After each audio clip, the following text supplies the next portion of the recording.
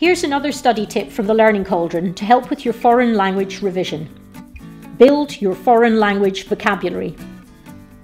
When you're learning a new language and you don't live in the country where it's spoken, acquiring new words takes more effort. And that's where vocabulary books like this come in.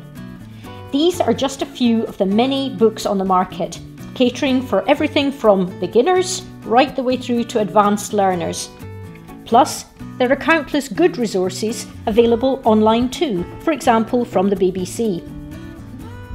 Whether you're learning French, German, Spanish, or Chinese, challenge yourself to add 10 new words to your vocabulary on five days every week of the academic year. 10 words a day, five days a week, means 50 new words a week. And that adds up to a whacking great 200 new words a month, approximately. Just think how big a difference that will make to your understanding of both written and spoken language when the exams come round. See you next time.